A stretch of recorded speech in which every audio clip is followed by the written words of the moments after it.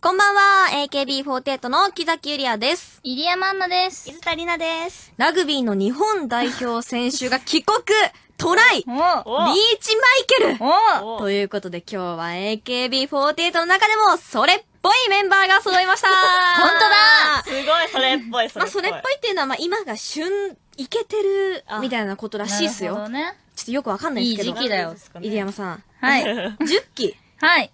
伊豆さん。はい。10期。10期。まあ私あのー、3期生で SK だとね。うん。駅弁と9期なんで、あ、そうなんだ。先輩っすよ。まあね。そうなんだなんか、え全然タメ口だね、君たち。おかしいな。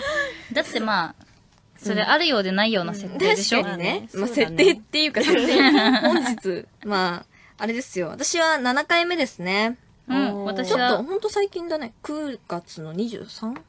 うん先週、うん先々週ぐらいじゃん。うん犯人が一番多いね。8回目。8い回目。私2回なの？ずりな、私、100回ぐらい出てると思ってたんだけど。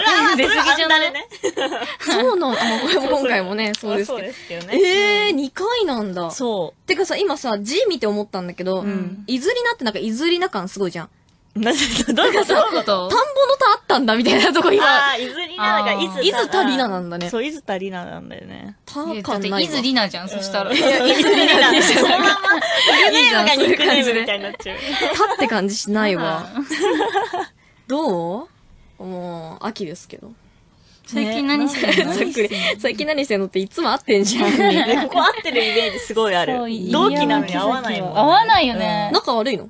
え ちょっとやめて、そういうの。仲悪い説よくざわあるよね。ざわしちゃうからなん。か10期って仲悪い説あるけど、そのそうなの？本当にバラバラだよね、みんなね。でも割とさ、みんな他の木に比べたらさ、すごい十機会でさ、うん木でご飯食べてる。機会で語り合っちゃうね、すごい。うん。あうん、仲いいんだね。仲いいと思う、多分。へ最近開催してないですけど。うん。ー してないんだ。まあ、近々。まあ、近々。近々やるそれ誰か、絶対誰か、なんか主催してほしいよねう。ん。主催かまあ、ナーナもね、同期のナーナもじゃんけん大会で。そうだね今そう、なんかさ、そう、感じゃんけんの時もそうだったけど、同期がなんか泣いてるイメージがすごいあったから、まあ、アンニー泣いたじゃん。そうそうアンニーよく泣いてくれる。る。ね、うんたまに泣いてるの見るから、なんか、アンニーが一番泣くんだよ。え主に泣きます意外と一番泣くの。そうだよねいずりなの時もそう。そう、ね。紅白うん歌合戦とかそういう時にリボーンっていう私のセンターの曲をやってくれた、はいはいやった時も泣いてくれて。